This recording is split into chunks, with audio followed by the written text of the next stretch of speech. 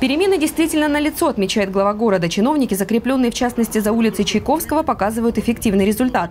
Есть здесь и нововведения, например, велосипедная дорожка. За неделю такие разметки появились сразу на нескольких улицах курорта. Дорожки для двухколесного транспорта в перспективе проложат и с микрорайона Макаренко.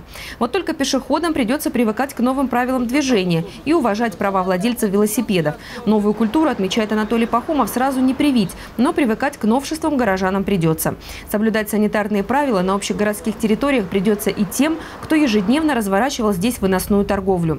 Стихийных рынков на набережной быть не должно, подчеркивает мэр. И этот вопрос на контроле у полиции. При этом важно защитить права обычных граждан, торгующих продукцией со своих приусадебных участков. Им разрешается бесплатно занимать места на центральном рынке. Директор в курсе, об этом уже походатайствовал мэр. 5 килограмм Да. принес Он, да, он знает на об 100, этом. на 200 рублей. Он знает об этом. Бесплатно можно продать.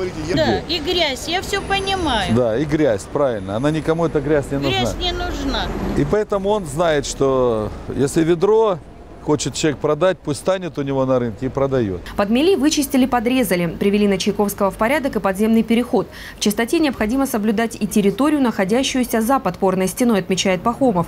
Река – особая часть курорта. Чисто должно быть и в русле Сочинки. Здесь такая грязь была чудовищная вот по этой набережной. Мусор стоял. Просто больно и стыдно за город. У нас же много все-таки гостей бывает.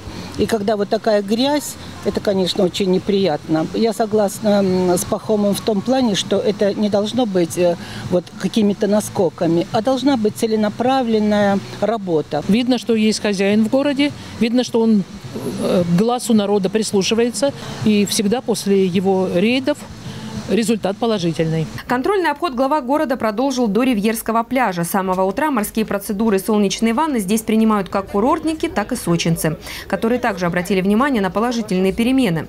По словам мэра, подобные обходы будут продолжены. И спрашивать за чистоту на улицах власти будут не только закрепленных административных работников, но и с управляющих компаний. Я, наверное, впервые скажу о том, что мне очень понравилось, что и набережная по реке Сочи со стороны улицы Чайковского и со стороны улицы Конституции находятся в хорошем состоянии. Одно дело красивые улицы, скверы, парки, и другое дело, когда наши гости зайдут в какой-то двор и будут просто крайне разочарованы тем контрастом. Вот если бы у нас еще этого контраста не было, наши жители должны понять, что это их лицо.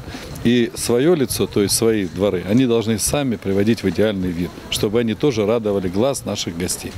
Галина Моисеева, Инга Габеша, Борис Осин, телекомпания ВКТ.